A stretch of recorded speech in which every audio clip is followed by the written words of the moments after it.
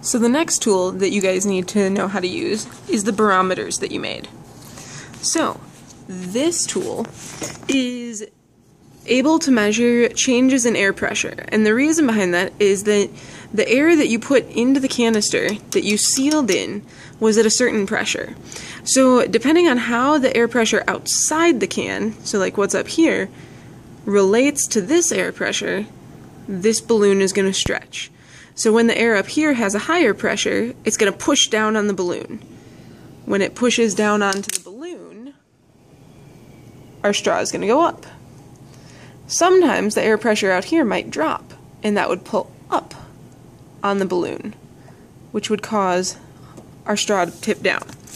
The way we're going to measure it is to take a ruler and line it up right by the tip of the straw. So, I have my ruler just totally flat against the counter. We're going to do this outside, but then you can kind of line it up. And I would mark this at 11.8. You can see it's kind of moving around because my hand is moving, but I would say 11.8.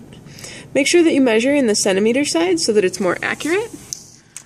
We'll do that every single day for the next five days, just so that we can see how it changes.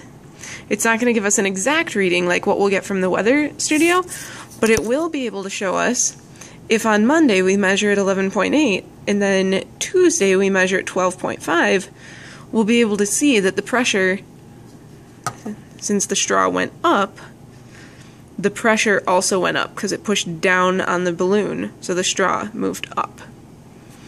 All right.